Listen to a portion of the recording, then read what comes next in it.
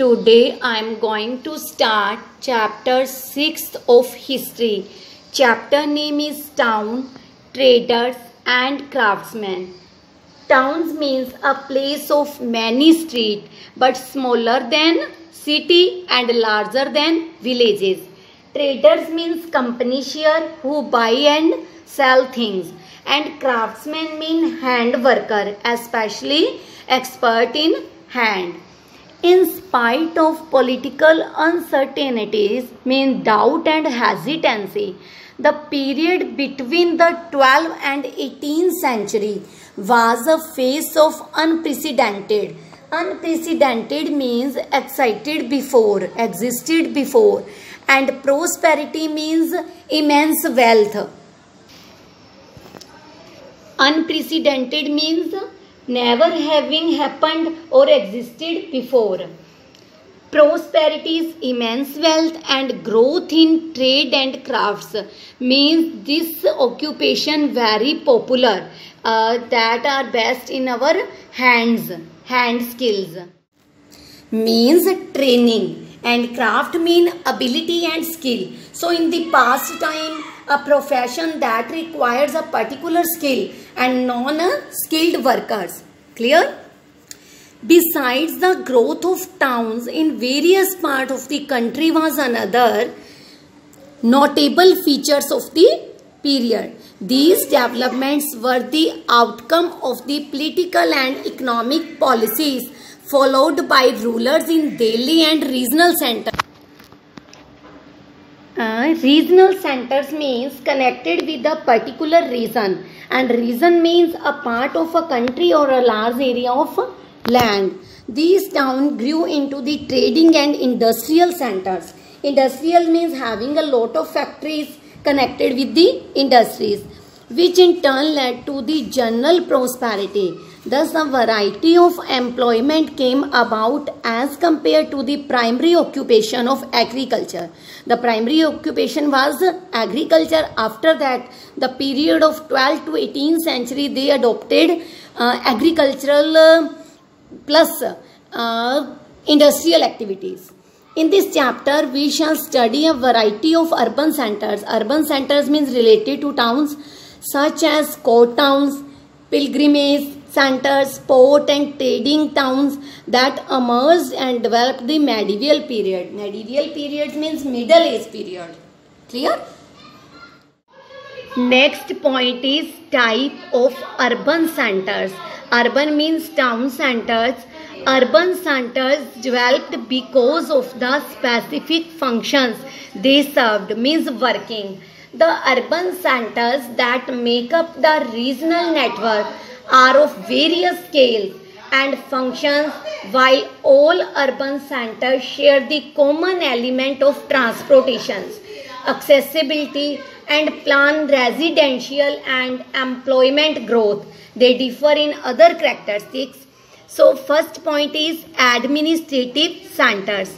Rulers. Rulers means king, emperor built new cities as their capital and rebuilt old ones. When emperors sat on the throne, firstly they made new cities and rebuilt many cities and make, make their own capital. The administrative capitals of Delhi Sultans. In Delhi Sultans, many dynasties, many different type of dynasty ruled over Delhi like Sayyid dynasty, Khalji dynasty, Lodhi dynasty, Lodhi dynasty and uh, um, and many other type of dynasties and Mughal emperors. Mughal emperor mean Babur, Akbar, Humayun, Jahangir, Shah Jahan, Aurangzeb. Like Agra and Delhi and Lahore grew into thriving cities. Delhi itself was transformed several times from Siri to Tughlaqabad and Tughlaqabad to Shahjahabad to become the most imposing capital in the east. It means ruler changed the capital from time to time. First Muhammad bin Tughlaq built his new capital at Daulatabad in Anno Domini 1327. Muhammad bin Tughlaq made their capital and named Daulatabad. Next, Firoz Shah Tughlaq built many cities including Firoz Shah Kotla. The city name was Firoz Shah Kotla in Delhi, Firozabad and Jaunpur. Anno Domini 1359. He made two new cities named Firoz Shah Kotla and Firozabad.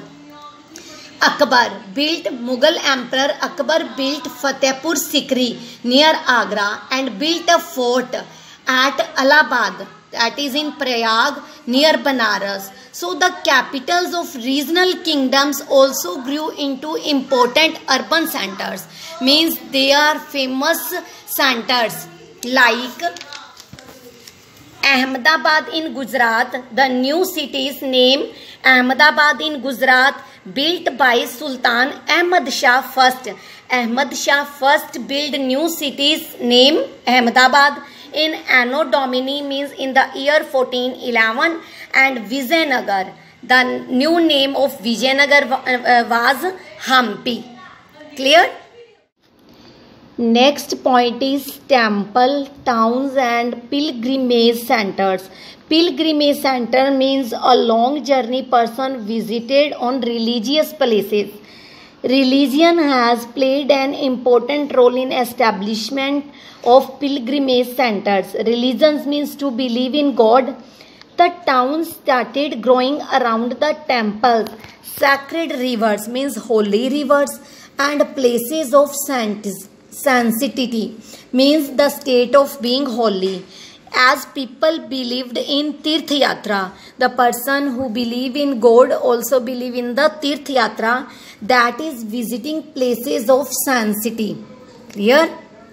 For example, in this process, popular places like Haridwar, Dwarika, Rameshwar, Mathura, Vrindavan, Allahabad, Varanasi, Mathura as the pilgrimage towns establishment in the pilgrimage towns so at the times of new capital cities were founded if the existing one became overcrowded overcrowded mean congested so in the 16th century sultan muhammad kuli kutub shah the name of the emperor is muhammad kuli kutub shah founded the city of Hyderabad. Who made the Hyderabad? Uh, Muhammad Kuli Qutub Shah. As Golconda has become too congested. Too congested means full of traffic. So it means as an expression of Mughal authorities. Mughal authorities means Mughal emperor, Mughal rulers and sovereignty the city of Shahjahanabad was founded. The name of the city, the name of the town Shahjahanabad, Hyderabad. It comprises the Jama Masjid Red Fort white roads bazaar as well as administrative centre of the Mughal dynasty Mughal dynasty means Babur Akbar Humayun Shahjahan Jahangir Aurangzeb ruled over the different part of the country next point is Surat Surat is a port city port city means near the coastal area where ship load. In the Indian state of Gujarat, Surat is located in the state of Gujarat. It is situated on the left bank of the Tapti river. Surat is situated on the edge of the Tapti river 14 miles from its mouth. Mouth means where river enters a lake.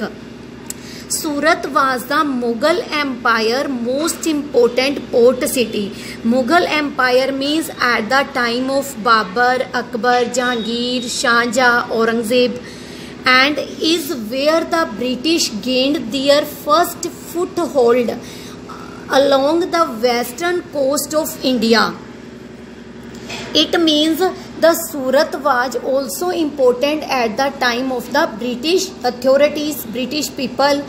For centuries, Surat has been known as the center of trade and textiles.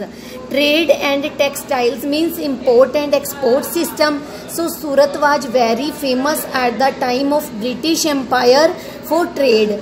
Many European powers including the Portuguese, wide of power over this port means this port city was famous the time of Portuguese. Portuguese means people belong to Italian. Between the 16th and 19th century, the British, French, Portuguese and Dutch established factories in Surat. French means people belonged to France, Portuguese belonged to Italy and Dutch belonged to German and the British be, uh, belonged to United Kingdom means England. Established factory in Surat means English East India Company established by the British authority. The modern city of Surat was probably established in the 15th century means Surat was a very famous city at the time of British authority and nowadays Surat is very famous and called the Manchester of the East.